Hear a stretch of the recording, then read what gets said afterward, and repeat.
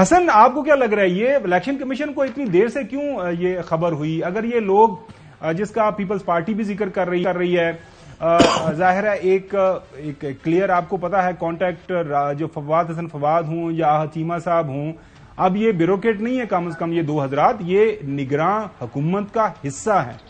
तो ये वाकई ये निगरान है, ये हम मान लें कि ये एक गैर मुतनाज़ा किस्म की निगरान है केयर टेकर्स ही हैं।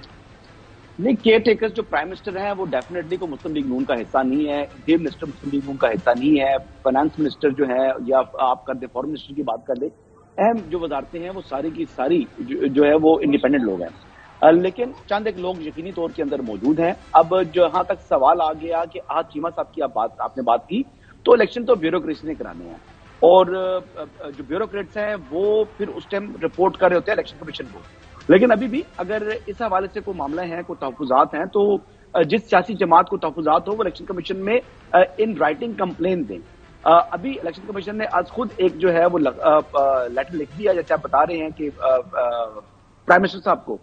तो अभी देखने वाली बात यह है कि प्राइम मिनिस्टर साहब उसके ऊपर क्या करते हैं। अच्छा अभी किसी का कोई ग्रीवियंस है तो उसको एजिटेट करना होता है। अपने जो शिकायत है, उसका इजहार करना होता है।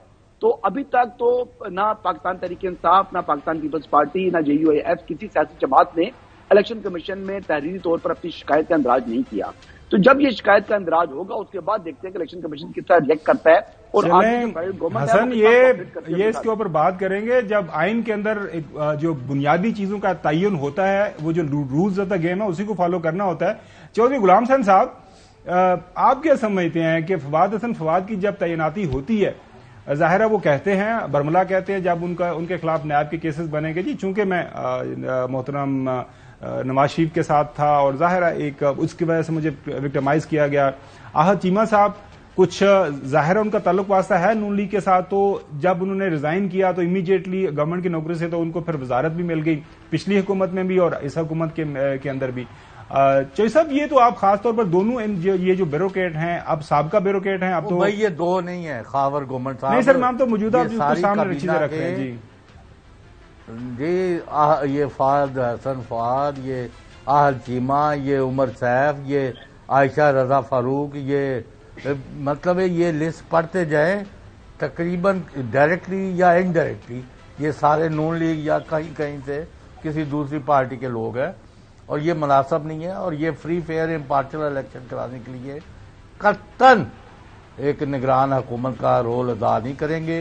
ये पार्टीजन है और उसी तरह ये जो अच्छा मेरा किसी से कोई जाति तनाजा नहीं है ना नहीं, किसी का भी नहीं है हम ज़ाहिर है हम तो एक हाँ, बात कर रहे हैं तो वो शायद नहीं नहीं जो शाहिद अशरफ तालड़ है जो हम्म। वो आपको उनका भी पता है। मुआसलात कौन कौन से महक में। हम्म, मैंने कहा कि एक एक महकमे में में जितने जितने बंदे लगे हुए हैं और जो जो सेक्रेटरी लगाए हुए हैं ये सारे नून लीग के। फवाद असल फवाद का एन उस वक्त जब नवाज़ शरीफ का ऐलान हो रहा है कि वो उनका फातियाना अराइवल है वो पाकिस्तान आएँगे और वो सिर्फ़ वो पाकिस्तान को बचा सकते हैं। अगर वो ना आए तो पाकिस्तान डूब जाएगा। तो उस वक्त इन साहब को लगाने का मतलब है कि उनको कंफर्ट दिया जा रहा है कि मियाँ साहब आओ, सत्य कह रहा बल्कि असी तो जहाज़ भर के आ रहे हैं तो रिसीव करना।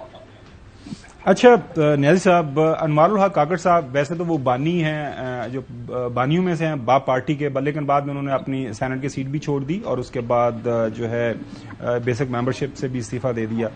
लेकिन जो मेरे ख्याल में वज़ीर दाखिला हैं, वो अभी सेनेटर भी हैं और वो पार्टी का हिस्सा भी हैं।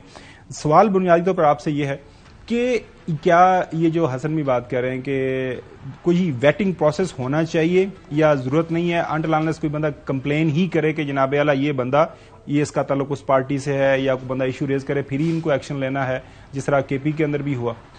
देखें आपका जो आइन है, उसमें सारी गाइडेंस मौजूद है। आज जो इलेक्शन कमीशन है या तो वो खुद ऑन इट्स ओन एक्शन ले सकता है इलेक्शन एक्ट को भी साथ पढ़ लें या on complaint of any aggrieved party तो क्योंकि उसकी आईनी ज़िम्मेदारी है they have to ensure level playing field है फ्री एंड फेयर इलेक्शन है और कोई किसी साइड पे कोई पार्शियलिटी आपको नज़र नहीं आ रही।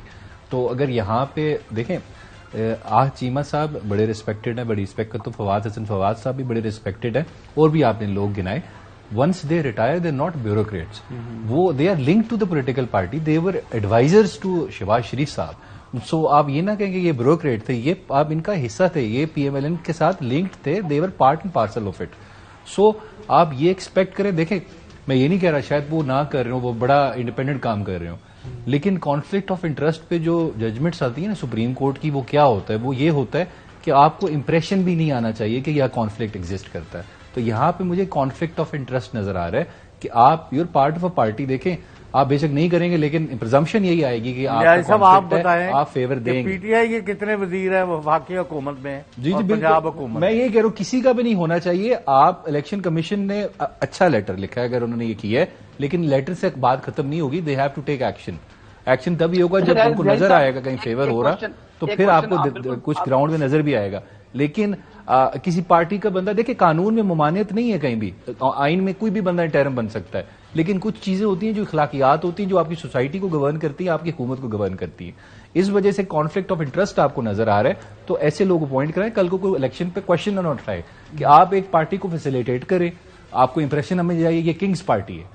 तो फिर उसके बाद क्या होगा? रिज़ल्ट यही आएगा कि आप सवाल उठाएँगे पूरे प्रोसेस पे। इलेक्शन कमीशन अगर सोता रहेगा एक टूथलेस टाइगर की तरह।